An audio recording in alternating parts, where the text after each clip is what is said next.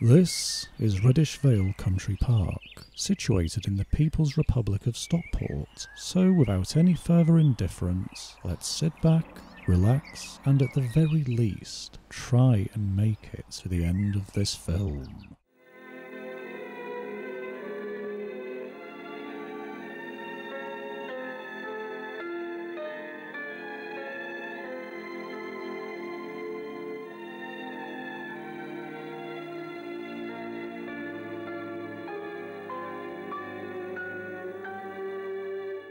When entering the park, one must first endure this dark and lonely path, which always conjures up mental images of being lured to one's own death by the kind of people you only see on CBS reality.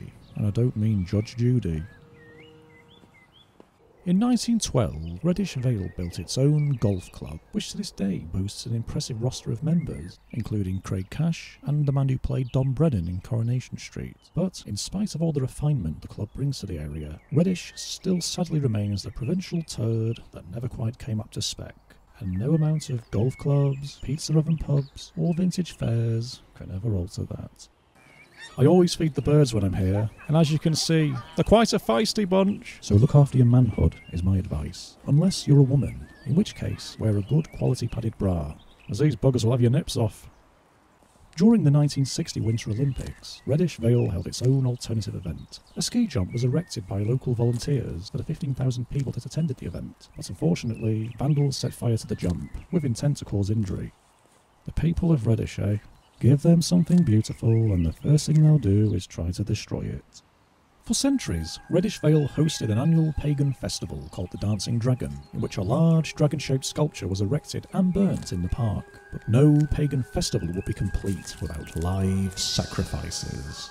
Small animals would be placed inside the structure and burnt to death, as it brought good fortune to the following year's harvest. But a human sacrifice could only maximise the chances further. Sadly, the festival was outlawed back in 2000. But surely, even in these more civilized times, a successful harvest is more important than a human life?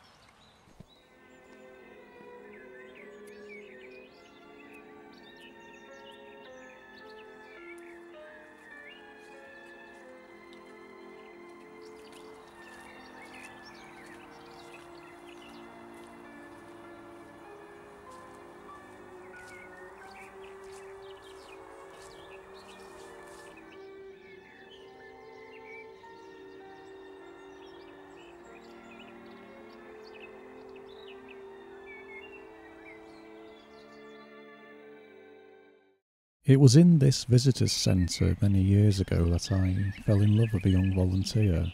She was very pretty and had a nice big arse that was only comparable to that of a Teletubbies. Hiya, I'm Kate. My ball sack tightened. Hello, Katie. Do you have any walking guides? Yeah, we got loads. Follow me. Do, do, do. I was infatuated, so I returned the following day to ask her out. Only she wasn't there. A volunteer informed me that Katie had been indecently assaulted the previous day and wouldn't be returning. Poor innocent Katie, I thought, until it suddenly dawned on me. At one point during that afternoon, Katie bent over to rifle through a box on the floor, when suddenly, out of nowhere, her bum crack was staring me in the face. Opportunities like this were as rare as second albums by the La's. So I moistened my little finger and placed it inside her bum crack, and then gave it a wiggle. How I got away with this crime is a mystery. Perhaps Katie secretly enjoyed my little finger. Who knows? But I'm hopeful that the stars will reunite us both someday, and with the advent of things like MySpace and the Me Too movement, it's only a matter of time. But until then, think I might just get off home and climb into bed, as I'm feeling quite depressed all of a sudden.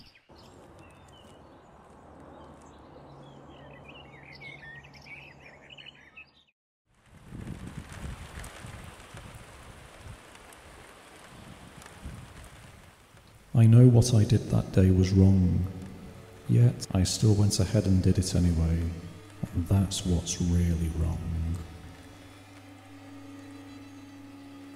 If I ever do get caught, then I would like this film to be my confession.